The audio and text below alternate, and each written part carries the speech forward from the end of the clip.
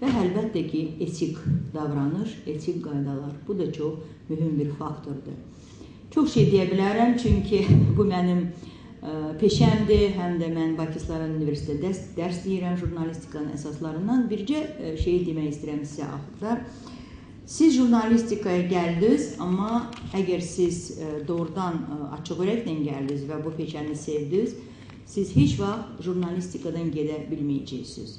Çünki jurnalistika artıq sizin həyat tərzinizə çevriləcək. Mən 7-ci ildir ki, millət vəkiliyəm, amma millət vəkiliyən olmağına baxmayaraq mən daima ə, həm ə, xarici, həm Azərbaycan mətbuatında çıxış eləyirəm, həm saytlarda yazılarım çıxır.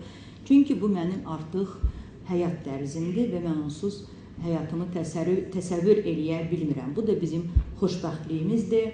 Çünki əsl jurnalist həmişə həyatın axırınacan jurnalist olaraq qalır və bu həyat tərzi ilə həmişə yaşayır. Mən də sizə arzu edərdim ki, siz əsl jurnalist olasınız, öz ölkələrinizə tanınasınız və sizin qələminiz həmişə iti olsun və ən əsas da odur ki, insanlar sizin yazılarınıza inamlı yanaşsınlar, inansınlar sizə.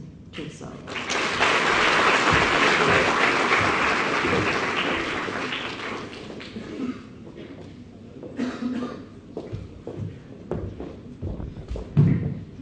Konfransımız davam edir. Elmira xanım bizim əsas məruzəçi idi və konfransı idarə etmək bizim jurnalistika bölümünə həvalə olunub. Tələbələrimiz öz işlərini gördülər. İndi növbə müəllimlərində, yəni konfransı mən idarə etməliyəm. E, amma biz bəzi prosedur qaydaları mən eləyərkən əməl eləməliyik. Yəni məruzədən sonra olacaq çıxışlar, e, deməli çıxışlar da bu cür nəzərdə tutmuş. Bizim hörmətli millət vəkilləri çıxış eləyəcək, sonra adlarını orada gördüyünüz təşkilatçılar çıxış eləyəcək, qadınlar öndə olacaq və eyni zamanda ürəyində çox sözü olan, amma burada deməyə çəkinən bir kimsə varsa, onlar məruzələrini ya çıxışlarını, ya çıxışların tezislərini yazırlar. Çünki bu bizim materialların hamısı kitab halında çap olunacaq. Deməli, tezislər üçün biz e, müəyyənləşdirmişik 3000 işarə, məqalələr üçün 10000 işarə.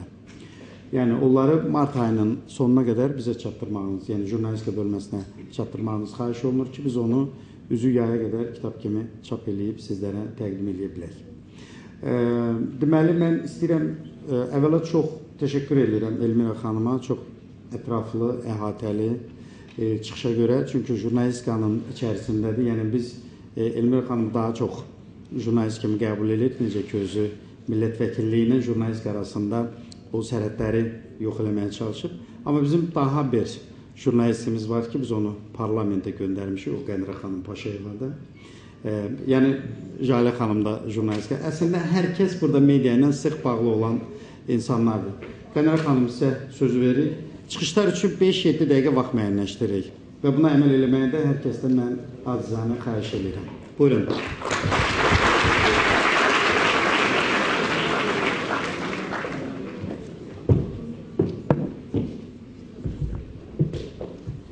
Hörmətli xanımlar və cənablar, mən ilk öncə bütün qızlarımızı, qadınlarımızı, təbii ki, hər evdə bir qadın var, bir ana var, bir xanım var. Ona görə də sizin simanızda, buradakı qızlarımızın, qadınlarımızın simasında bütün Azərbaycan qadınlarını, qızlarımızı qarşıdan gələn 8 mart Beynəlxalq Qadınlar Günü münasibəti ilə təbrik edirəm. İlk öncə can sağlığı, uğur, xoşbəxtliklər arzulayıram və arzulayıram ki, Qadınlarımızın hər zaman üzü gülsün, gözlərində yaş, üzlərində kədər olmasın. Mən bütün təşkilatçılara, xüsusilə Qafqaz Universitetinə təşəkkür edirəm ki, çox gözəl bir mövzu ətrafında bu günləri bir konfrans keçirilir. Əslində mənim düşüncəmə görə təkcə 8 mart qadınlar bayramı, qadınlar günü olmamalıdır. Qadınlar dünyadakı haqlarını alana qədər hər gün qadınlar günü və qadınlar bayramı olmalıdır. Çünki mənim yadımdadır ilk dəfə mən Misirə gedəndə e, Misirdə Luksora getmişdim. Orada bilirsiniz ki, dünya tarixinin ilk hökmdar qadınının e, qədim Misirdə olub, Hatshepsut adlı. Qədim Misir tarixinin, ümumiyyətlə qədim Misirin ən ağıllı hökmdarı olub bu qadın. Onun qalan əməlləri ilə və s. və s. Amma bu qadın hər zaman kişi kimi görünmək məcburiyyətində qalıb. Çünki bu onun qadın olduğuna görə heç cür qəbul et, et, edə bilmirlərmiş. Və mən ondan bir yazı yazanda başlığını belə yazdım. Hətta min illər əvvəl də qadın olmaq zor idi, çətin idi. Min illər sonra da qadın olmaq zordur, çətindir, asan deyil. Əslində çox şeymi dəyişib, bəzi şeylər dəyişib, amma hər şey dəyişməyib. Çox şey dəyişməyib.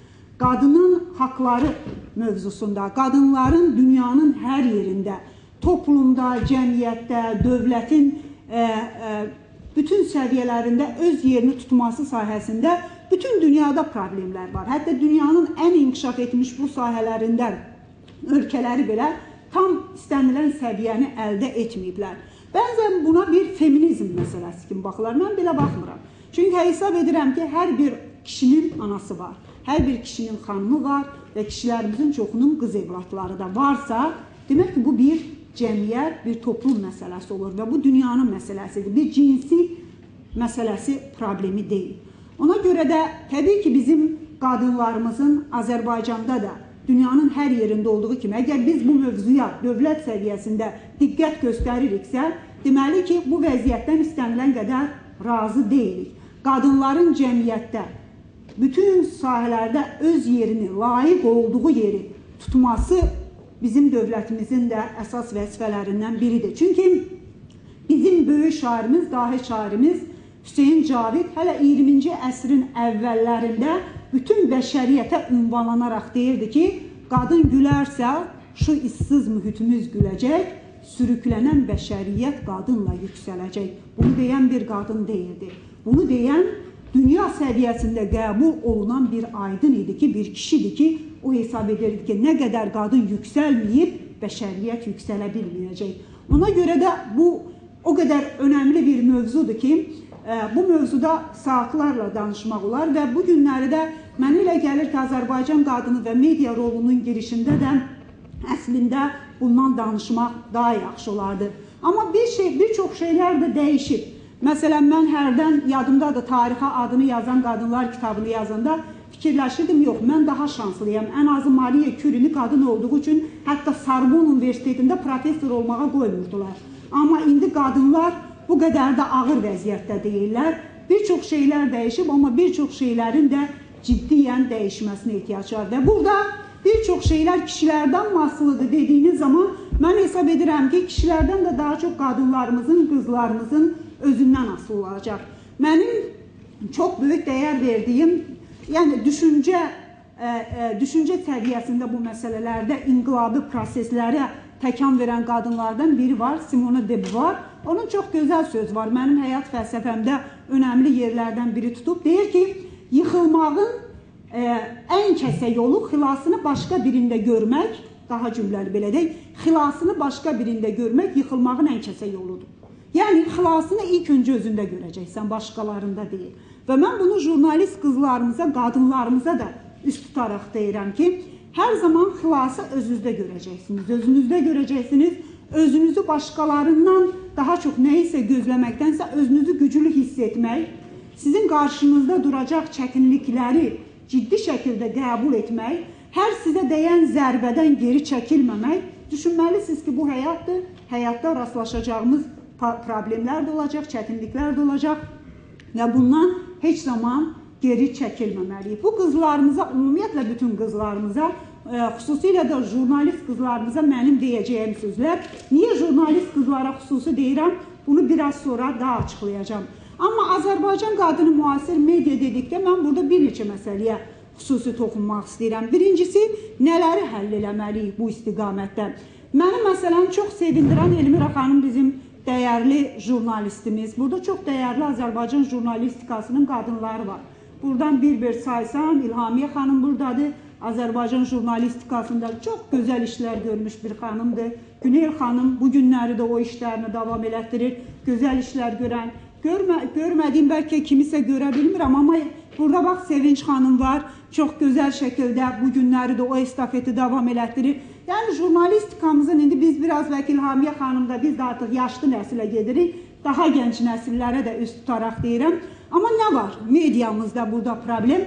Məsələn, jurnalistlərimizin mətbuatda da, mediada da böyük bir hissəsi qızlardır. Amma məni həmişə narahat edən, indi son dövrlər biraz dəyişməyə başlayır. Rəhbərlik hamısı kişilərdir. departament rəhbərləri, şöbə müdirləri, demək olar ki, əksərən kişilər olur. Mən bunu biraz açıq deyirəm, haqsızlıq kimi qəbul eləmişəm hər zaman. İndi çox şükür ki, artır bizim görürük media rəhbərləri, mətbuat, yəni KİV rəhbərləri içərisində qızlarımızın sayı da artır. Yəni bu niyə lazımdır? Bu ona görə yox ki, Qənirə xanım da qadındır, bir kapris kimi ki, xoş gəlsin ki, baxın burada da qadınlar var. Yox. Onlar bir örnəkdilər cəmiyyətə. Baxın nə qədər insan üçün Elmira xanım jurnalist kimi örnək olub.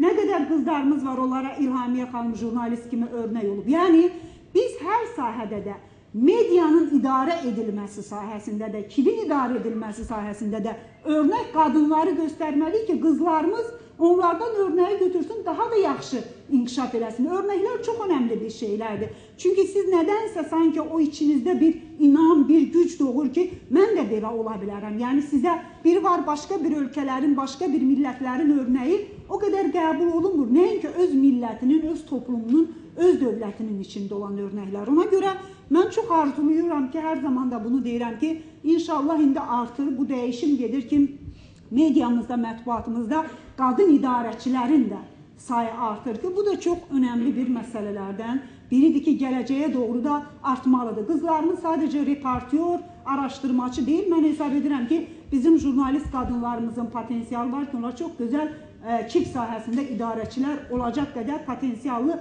Mən şəxsən burada say desəniz 30-40-ını mən sayaram. Demək ki, bunların içərisində çox ciddi insanlarımız da var. İkincisi, qadın problemlərinin kibdə işıqlandırılması mövzusu. Mən burada bir neçə başlığa xüsusi vurmaq, e, vurğulamaq istəyirəm. Bax, burada da bizim ciddi problemlərimiz var. Nə qədər biz Gürcüstanda, Tiflisdə Avropa Şurası və Avropa Birliyinin birlik, birgə konfransı var idi. Qadın mövzularının, yəni qadın dediyimiz zaman bu cəmiyyətin mövzuları deməkdir, toplumun mövzuları deməkdir. Bir cinsi ayrı seçkilik ətrafında getmir, toplumu narahat edən məsələlərdən gedir. Onların kivdə işıqlandırılması və necə işıqlandırılması ətrafında böyük bir beynəlxalq konfrans keçirilirdi və o qədər maraqlı dünyada statistikalar gətirirdilər ki, dünyanın demək olar ki, 80%-də bu ciddi problemdir ki, bu mövzular lazımi səviyyədə KİV-də öz əksini tapmır. Yəni KİV bu məsələdə maarifləndirmədə, e, mediada, mətbuatda maarifləndirmə məsələlərində ciddi o qədər rol oynamır. Baxmayaraq ki, mətbuat və media cəmiyyətdə bu missiyanın əsas daşıyıcılarıdır ki, toplumu maarifləndirilsin, toplum daha çox bu istiqamətdə ə, e, belə deyək, doğruya istiqamətlənsin. Bizdə də bu məsələdə problemimiz var. Məsələn, biz bunu zaman-zaman müzakirə edirik, son illər artır. Biz görürük ki, son illər bu mövzularda düzdür, müəyyən e, müzakirələr var, amma istənilən səviyyədədirmi? Yox. Birincisi, e, vaxt etibarilə istənilən səviyyədə deyil.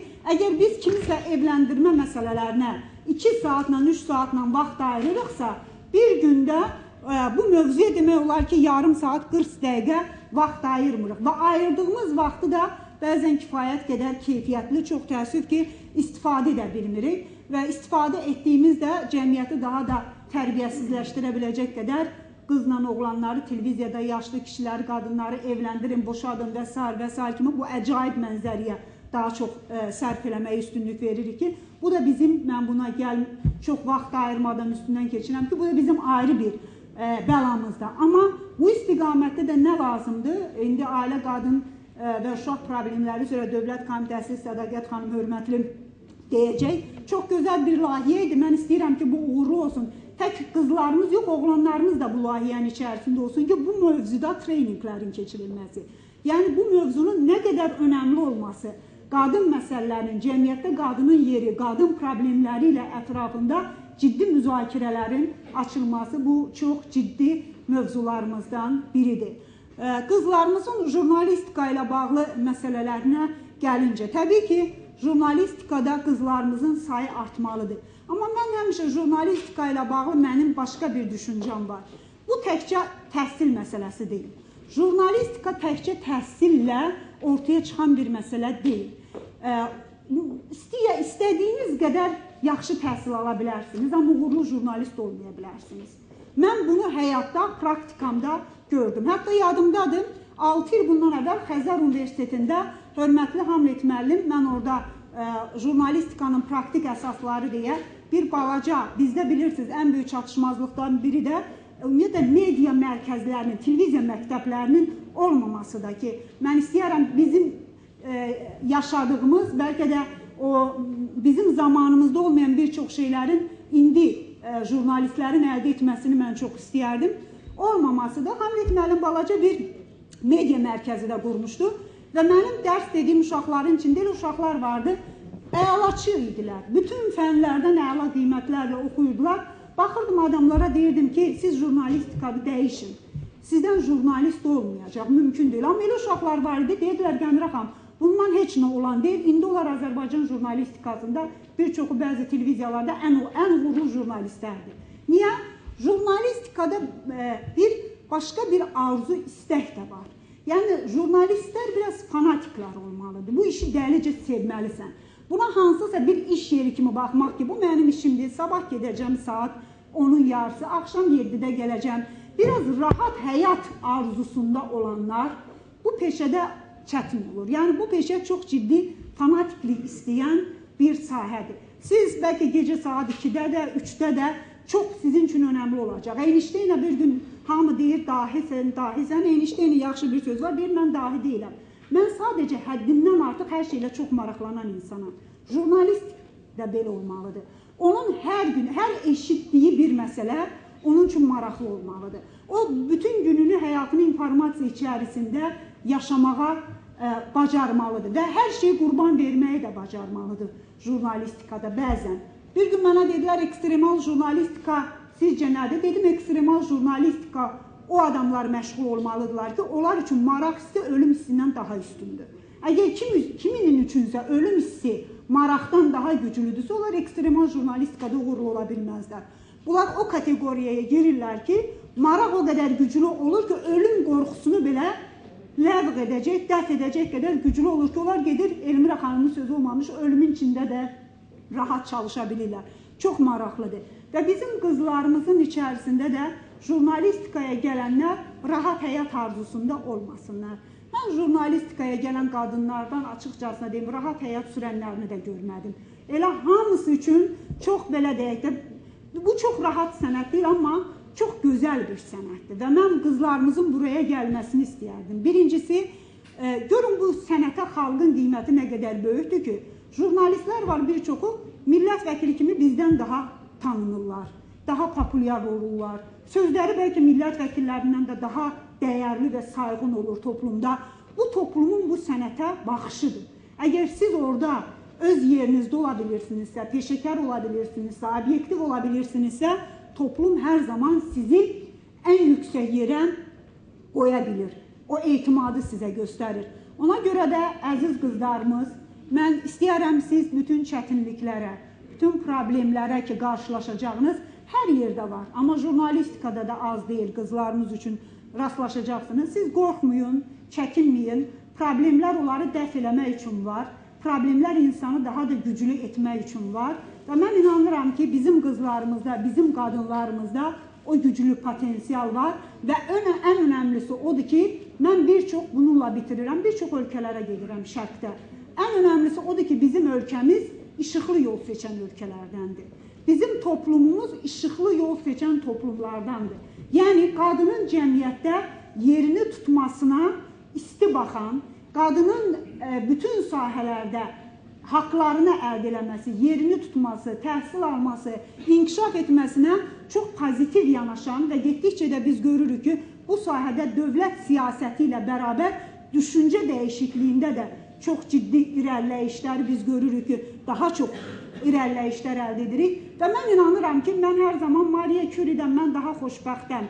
Ən azı məni ə, e, qadın olduğuma görə universitetdə alim olmaqdan e, imtina eləməyiblər, təsəllisi varsa, mən elə gəlir ki, siz zaman gələcək deyəcəksiniz, mən Elmir Axundovadan da, İlhamiyə Rızayevadan da, Qənirə Paşayevadan da daha xoşbəxt nəsiləm ki, onların da bəlkə üzləşdiyi filan məsələlərlə mən üzləşmirəm. Bax, inkişaf da elə bunun üzərində olur. Mən sizin hamınıza uğurlar arzuluyuram. Ən vacibi də, ən vacibi də siz bilməlisiniz ki, mənim düşüncəm jurnalistlər cəmiyyətin aydın təbəqəsidir. Aydın aydınlatan deməkdir. Çox təəssüf ki, bu gün jurnalistikamızda aydınlatanların sayı çox azdır. qaranlıq gətirənlərin, cəmiyyətimizə mənfi zərər vuranların sayında ciddi şəkildə kifayət qədər var ki, bəzi proqramların da cəmiyyətə nə qədər zərər vurduğunu mən də siz də ə, görürük və inanıram ki, onlar da aradan qalxacaq. Ona görə mən hesab edirəm ki, jurnalistikamızda sözün həqiqi mənasında təkcə jurnalistlərin deyil, aydınların da, həqiqi mənada aydınlatanların da sayı çoxalacaq və o da sizin əlinizdə uğurlar.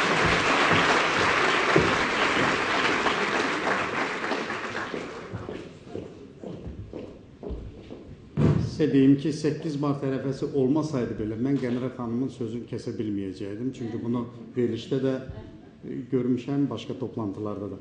Çox sağ olun.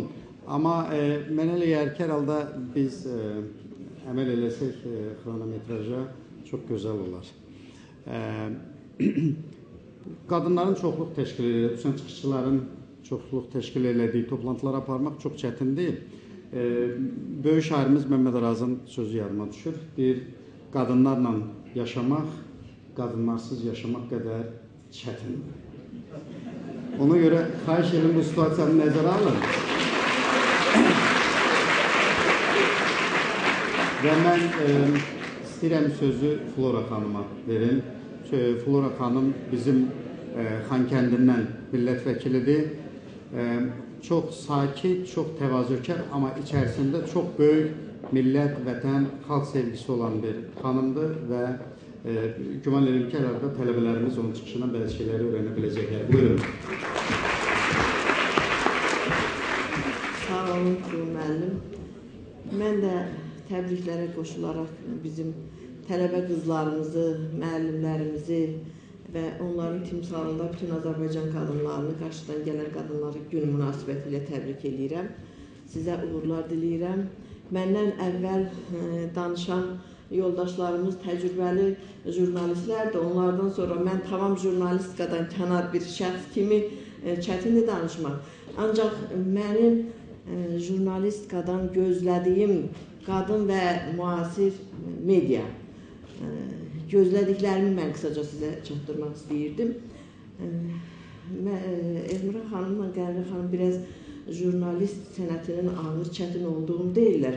Ancaq qadın jurnalistikada mətbuatda qadın mövzusuna, qadınların problemlərinə ən çox fikir verən, işıqlandıran elə qadın jurnalistlərimiz olur. Kişilər qorxurlar nəyisə bu sahədə yazmağa. Mən elə bilirəm ki, kişi jurnalistlərimiz gələcəkdə əlbəttə bu mövzuya bəlkə də qadınlardan daha yaxşı yanaşarlar. Mən nə gözləyirəm mediadan? Qadın Azərbaycan qadın bilirsiniz ki, cəmiyyətdə sistem dəyişiləndə problemlər də çox olur və bu problemlər içərisində ən çox əziyyət çəkən də çəkən də qadınlarımız olur. İndi məni maraqlandıran qadınların problemləri hansılardır və mən bunu daim izləyirəm və ümid edirəm ki, bu problemlər indi ə, tələbə olan jurnalistlərimizin də qarşısında bu problemin araşdırılması duracaq. Jurnalist həm də tədqiqatçıdır. Bu gün bizi qadınlarımızı düşündürən məcburi köçkün qadınların problemləri, qadınlar arasında işsizlik problemləri, məişət zorakılığı problemləri, sonra insan alveri, alveri qurbanı olan qadınlarımızın problemləri, bütün bu problemlərin işıqlandırılması, cəmiyyətə çatdırılması əsas vəzifə kimi jurnalistlərimizin üzərinə düşür. Çünki qadınlarımız cəmiyyətin aparıcı qüvvəsidir. Cəmiyyətimiz sağlam sağlam ailə olanda güclü olur və ailənin də təməlini, ailənin də əsas möhkəmliyini e, qoruyan e, qadınlarımızdır. Sonra bizim milli mədəni e, ənələ, ənələrimiz var, əxlaqımız var. Qadınlarımız arasında bu əxlaqın qorunmasına necə riayət olunur və biz Avropa Avropaya inteqrasiya edirik deyə-deyə bizim özümüzün milli ənələrimizi milli əxlaqımızı qorumağımızı nə dərəcədə e, çalışırıq e, bütün bu məsələlər jurnalistikanın əsas mövzusu olmalıdır və mən ümid edirəm ki, e, bizim qadın jurnalistlərimiz daha fəaldırlar bu sahənin araşdırılmasına və mən gələcəkdə də bu məsələlərin araşdırılmasından çox böyük ümid bəsləyirəm. Nə deyərəm, jurnalistika çox çətin sənətdir. Məndən əvvəlki yoldaşlarımız da dedilər, çox çətin sənətdir, ancaq çox şərəfli sənətdir. Deyim ki, mən elə bilirəm ki, yaxşı jurnalist olmaq elə yaxşı hüquqşünas olmaq qədər də şərəfli bir sənətdir. Mən sizə uğurlar diləyirəm bu sahədə və bu tədbiri təşkil edənlərə də minnətdarlıq bildirirəm.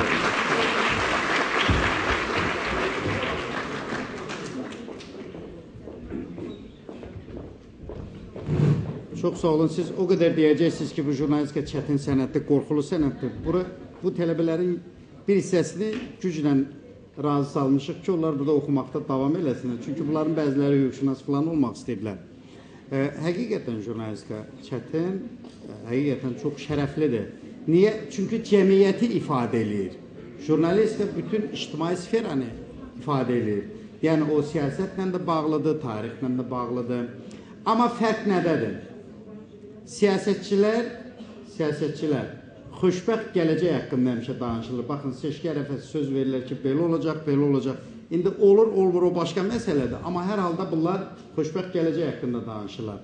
Tarixçilər isə xoşbəxt keçmiş haqqında danışırlar. Belə olub, elə olub və s. və ilaxır. Amma jurnalistlər yeganə peşə sahibləridirlər ki, bugünkü xoşbəxtlik haqqında danışırlar.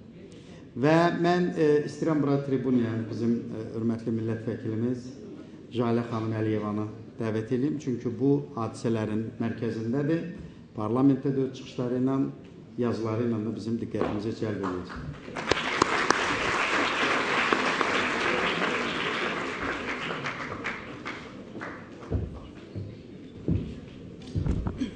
Çox sağ olun, amma hamınızın nəzərinə çatdırım ki, mən jurnalist deyiləm. Sadəcə filoloqam.